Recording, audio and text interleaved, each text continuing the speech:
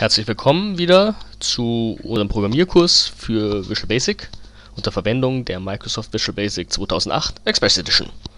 Wir haben ja bereits kennengelernt, was Variablen sind und wie wir Variablen verwenden und jetzt gehen wir noch einen Schritt weiter. Wir haben diesen Variablen ja Werte zugewiesen und diese Werte können von verschiedener Art sein. Bis jetzt haben wir immer mit Text gearbeitet, aber es gibt auch noch andere Möglichkeiten und der Unterschied ist da relativ wichtig, weswegen wir uns jetzt einige anschauen. Wie üblich sind wir in unserer Entwicklungsumgebung, Datei, neues Projekt, dann nehmen wir wieder Konsolenanwendungen und nehmen wieder irgendeinen kreativen Namen, beispielsweise unser erstes Datentypenprogramm. Wieder so ein Bandwurmbegriff. Aber das Thema ist jetzt tatsächlich Datentypen. Welche Art von Daten, welche Art von Information gibt es? Das Projekt wird angelegt, wie gehabt, und jetzt können wir wieder eine Variable anlegen. Beispielsweise, was wir letztes Mal hatten, war etwas in der Richtung Name ist String und dann Name ist gleich zum Beispiel Christian. Und was auch geht, eine Kurzform ist alles in eine Zeile zu schreiben. Dem Name ist String ist gleich Christian.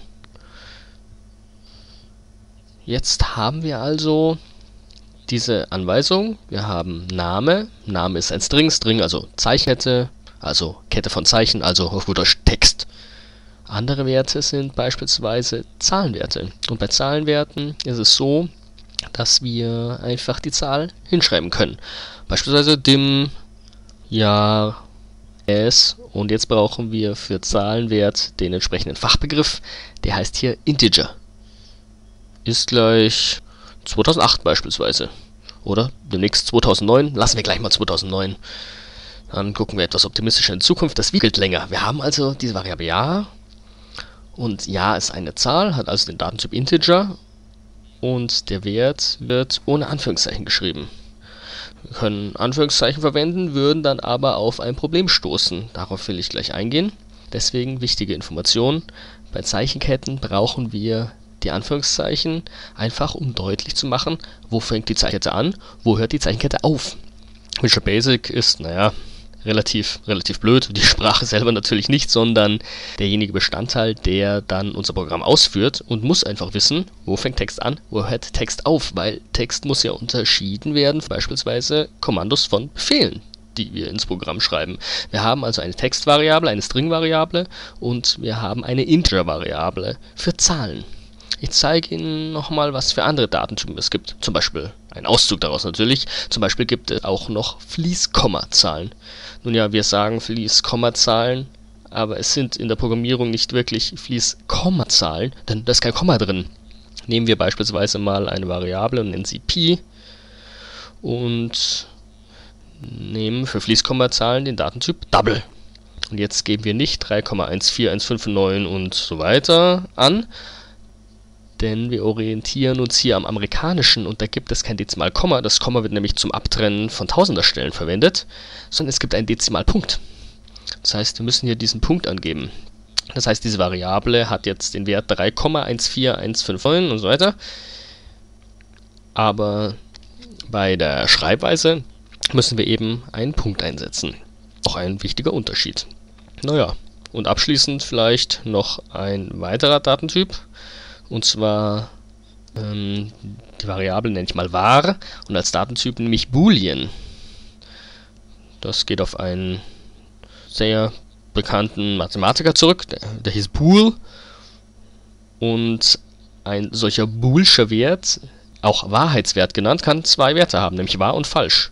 Da Programmieren ja immer so eine Art holpriges Englisch ist, gibt es hier genau diese zwei Möglichkeiten, die Sie auch in Visual Studio sehen in der IntelliSense-Anzeige, nämlich false oder true. Das heißt, bei wahr haben wir true und wir könnten jetzt noch eine Variable unwahr beispielsweise anlegen und unwahr hätte dann den Wert false. Wir brauchen diese Werte true und false später, wenn wir unser Programmablauf ein wenig steuern wollen. Wir müssen beispielsweise feststellen, ist es meinetwegen vormittags oder nachmittags. Je nachdem verhält sich das Programm anders. Und um eben so etwas festzustellen, haben wir einen Zustand, beispielsweise ist es gerade vormittags, und dieser Zustand ist wahr, tritt also gerade ein, oder falsch. Und dazu brauchen wir eben true und false. Jetzt haben wir diese Datentypen und was sehr, sehr wichtig ist bei der Programmierung mit vielen Sprachen und das ist ein Unterschied zu manch anderen Sprachen, ist, dass hier, wenn Sie sich einmal für einen Datentyp für eine Variable entschieden haben, diesen Datentyp nicht ändern können. Das heißt, ich kann nicht sagen, Jahr ist gleich 2009 beispielsweise. Ich kann es natürlich versuchen und noch kommt keine Beschwerde. Wenn ich jetzt allerdings das Programm will, dann, ja, dann hoppala.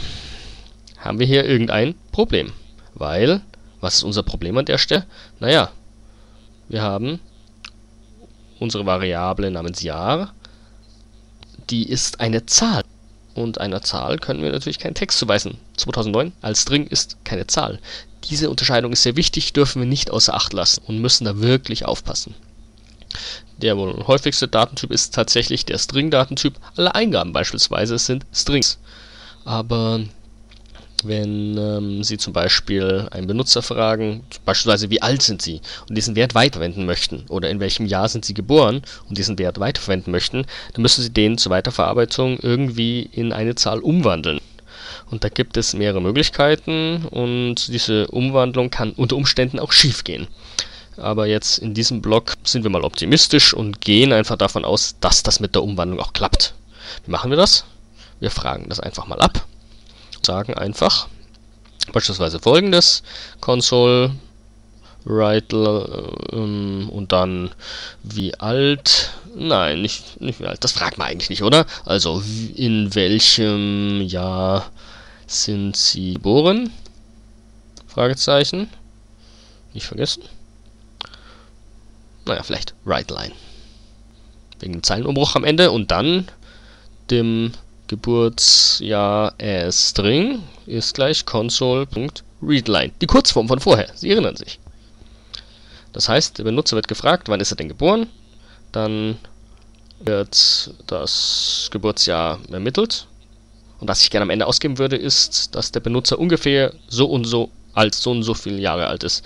Ich würde also das aktuelle Jahr nehmen und das Geburtsjahr abziehen. Nicht sehr exakt, hängt davon ab, hatte der Benutzer schon Geburtstag in dem aktuellen Jahr, ja oder nein. Vom Prinzip her sollte es aber so ungefähr klappen. Dieses Abziehen jedoch, dieses Minus, Grundrechenart, logisch, das funktioniert nur, wenn wir auch eine Zahl haben. Das heißt, ich brauche jetzt tatsächlich das Geburtsjahr, die Eingabe des Benutzers, als Zahl.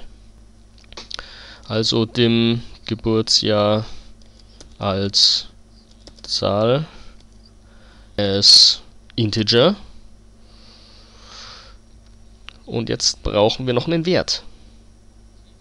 Visual Studio beschwert sich ja gleich. Wir haben die Variable angelegt, aber der keinen Wert gegeben.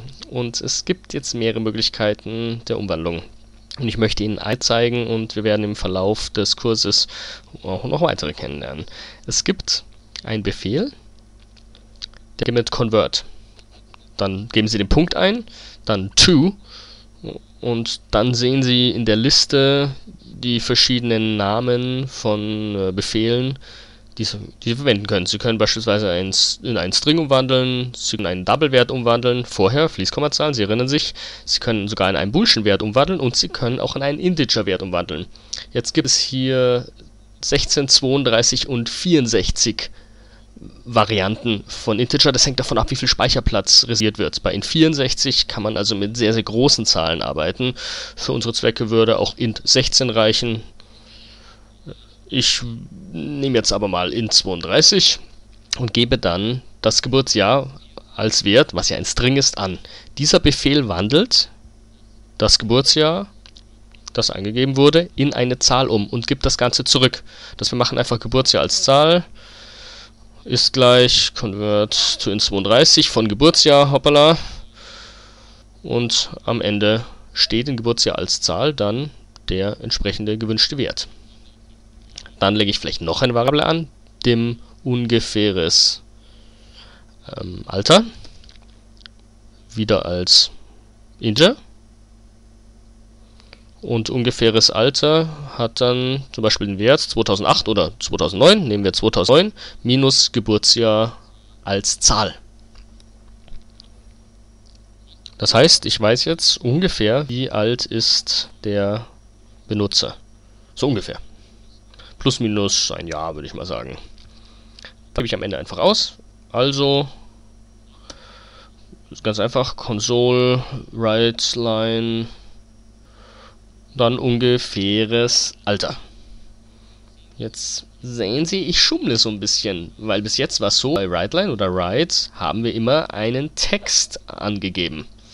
Sie sehen aber auch schon, wenn ich mit der Maus hier drüber fahre, man bekommt immer hier detaillierte Hinweise, leider häufig auf Englisch, aber man sieht hier schon, Value as Integer, okay.